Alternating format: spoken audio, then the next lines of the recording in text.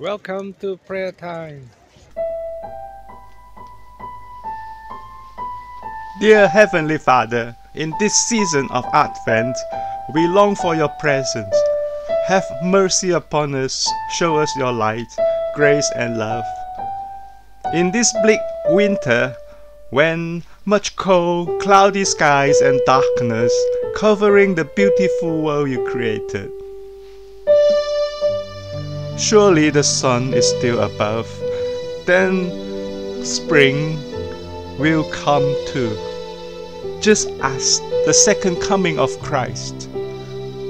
In this world of chaos, unrest, and desperation, let us follow your will, bearing witness and helping others, leading them to Christ and keep them in your holy kingdom.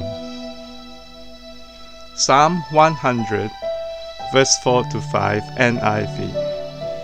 Enter his gates with thanksgiving and his courts with praise. Give thanks to him and praise his name. For the Lord is good, and his love endures forever.